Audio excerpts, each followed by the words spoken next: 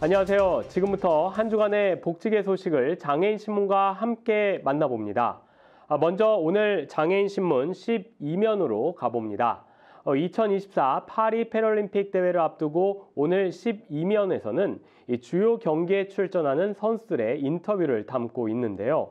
어, 이번 대회에서 우리 선수단 중 가장 많은 인원을 파견하는 종목인 탁구의 주영대 선수와 서수연 선수의 인터뷰가 실렸습니다.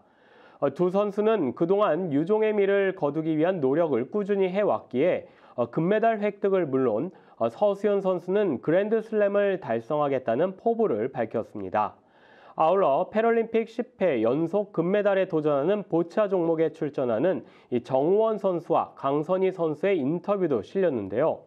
두 선수는 10연패의 타이틀이 달려 있기에 마음가짐이 다르다며 10연패의 기록을 세울 수 있도록 최선을 다하겠다고 말했습니다. 계속해서 3면입니다. 제10회 테헤란 아시아 태평양 농아인 게임에 우리 대표팀이 출전을 취소하기로 했습니다. 아시아 태평양 농아인 게임은 오는 10월 15일부터 26일까지 개최 예정이었는데요. 우리 대표팀은 이란에 대한 특별 여행주의보가 발령됨에 따라 어, 이 같은 결정을 내렸다고 밝혔습니다. 정상화 단장은 선수단의 안전을 최우선적으로 고려해 이번 대회 참가 포기를 결정하게 됐다고 말했습니다. 다음은 6면입니다. 아, 발달장애인의 제주 여행이 한층 안전해질 전망입니다.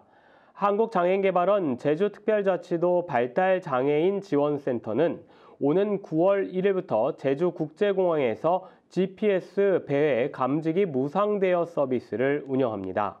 이번에 대여하는 감지기는 손목시계형으로 실시간 위치 정보 모니터링과 응급 호출, 이동 경로 안내 등을 제공합니다.